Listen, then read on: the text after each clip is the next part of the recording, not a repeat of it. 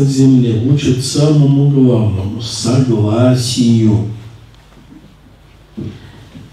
Tak tyto bytosti byly eh, vloženy do obrazu člověka a eh, člověk jako vrchol toho je vlastně sjednocující. I последní slova. Нас на земле учат согласию. То есть А на гармония зemi, нашего na zemi jsme učeni souladu, čili harmonii ve vztazích. Вот когда мы станем нас- по-настоящему человеком, а мы уже фактически стали, наступает новый период развития, Бога человеческий. A na, nastupuje nový, nová etapa člověka a my už jsme, vlastně jsme jim stali, je to, jsme se jim stali, je to etapa boholidství, bohočlověka. И этот путь уже показали на земле. И Моисей, и Иисус, которые прошли путь от человека к Богу человеческому состоянию. Tento obraz eh, boholidství už ukázal zde na zemi i Mojžíš, i Ježíš ukázali ten, tento boholidský stav, ke kterému došli. И тем самым они показали, что и каждый может пройти этот путь так же, как они. Помните, у Иисуса было призыв «По мне и Доша, вы сидите по мне». Je, Ježíš řekl, jděte eh, podle mě, nebo jděte za mnou a my můžeme tento obraz následovat. То есть, если мы будем строить свою жизнь, исходя из определенных нравственных принципов, это очень важный момент, потому что Бог все строит, исходя из idеальных чувств. Jestliže člověk bude vycházet z mravních principů, eh, tak je to proto, nebo má to být proto, že, člověk, že Bůh eh, tvoří vždycky ideálně. то тогда тот изначальный божественный огонь, который есть в нашей душе, он возгорится и заполнит всех нас. Ten prvopočáteční oheň, který je v naší duši, ten zahoří a naplní nás celé. И мы начнем сиять божеств, огнем божественных знаний. A my začneme zářit ohněm božského poznání. Вот там же в Италии, как раз в этом зале Пия 12, когда там, ну, после э, занятий все бросились фотографировать меня, а перед этим там тоже был очень интересный момент, когда мы работали с одной женщиной с tяжелой формой рака, V Itálii, když jsem přednášel v tom sále 12. eh, když skončil eh, seminář, eh, všichni se vrhli, že mě budou fotografovat a byl tam taky jeden velice zajímavý okamžik se ženou, která měla těžkou formu rakoviny. произошло просто два э, ну, немыслимые чудесных события. Došlo eh, doslova ke dvěma nemyslitelným eh, zázračným událostem. Там на стене висел большой портрет Иисуса.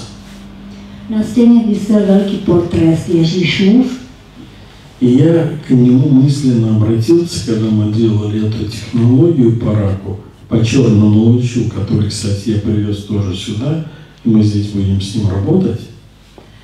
Obrátil jsem se k tomu obrazu Ježíšovu, když jsem dělal technologii eh, pro léčení rakoviny. Je to technologie s černým paprskem a ten, tuto technologii jsem také přivezl sem a budeme s ním pracovat.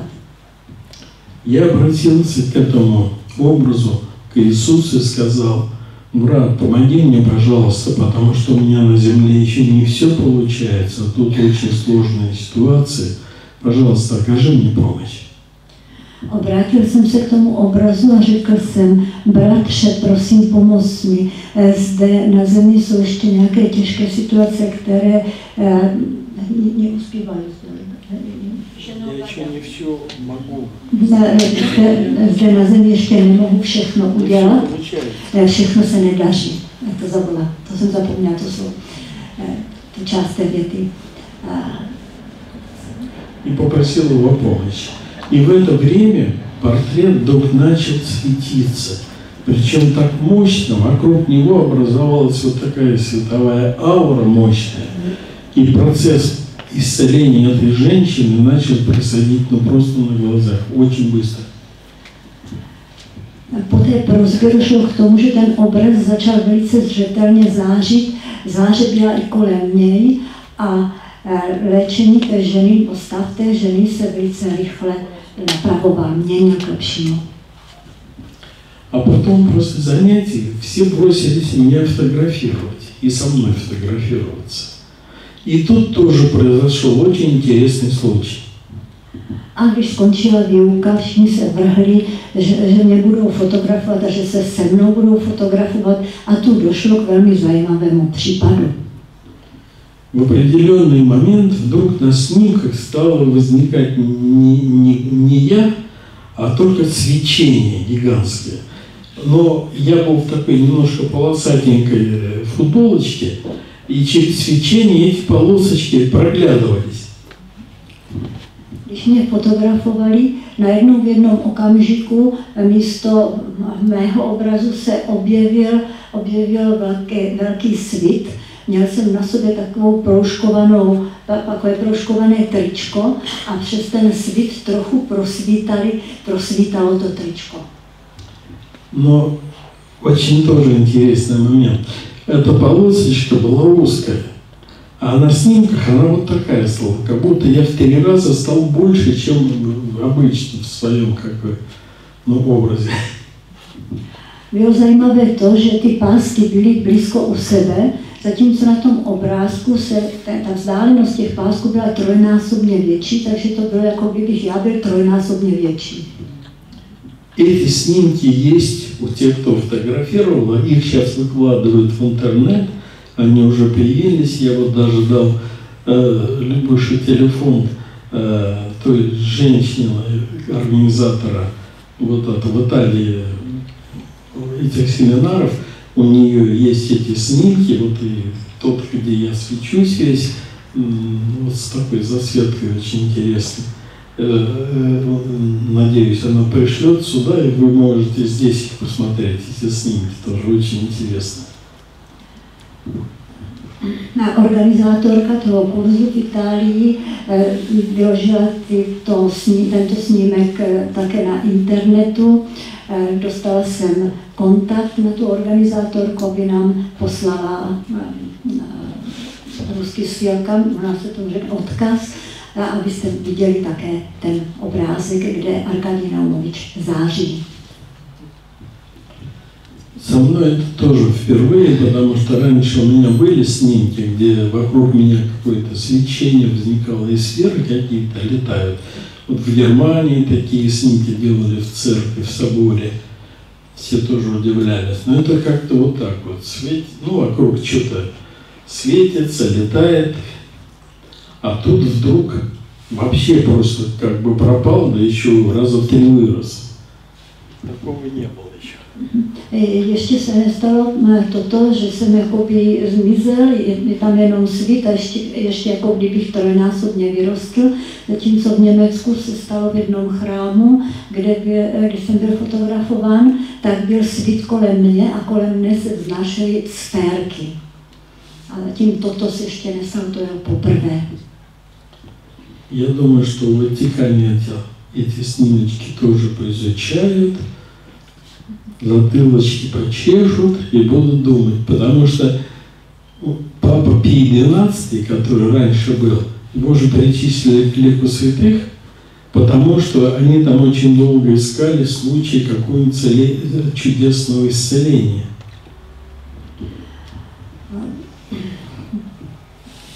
Myslím si, že, se, že budou ty mé snímky prohlížet, že se budou drbat na zátilku, a protože byl papež Pius XII. přiřazen ke svatým, ale než ho přiřadili ke svatým, velmi dlouho čekal, hledali zázrak vyléčení, až ho našli, potom ho přiřadili ke svatým.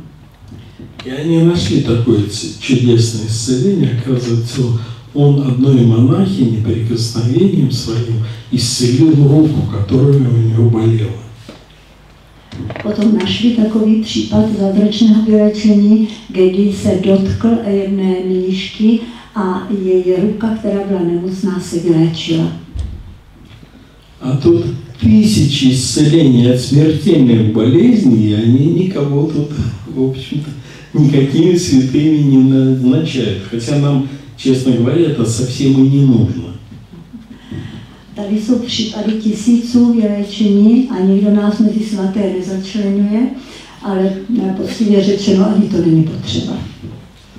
Просто это говорит о том, что у них, как у организации, как у корпорации религиозной, есть своя линия, которую они гнут независимо ни от чего. Вот если это их человек делает, хотя бы что-то похожее, это одно, это святое. А если кто-то другой, это тут надо глаза закрыть и ничего не видеть. Prostě mají svou linii, od které, se, od které neuhnou. Jestliže to dělá jejich člověk, eh, eh, tak je to v pořádku, ale jestli to dělá někdo mimo to jejich, to jejich organizaci, tak Zabieraj oczy. Malczy, malczy, no? Delikatnie. Zabieraj oczy. E, a nie, e, no, zabieraj oczy. No zabieraj proste oczy.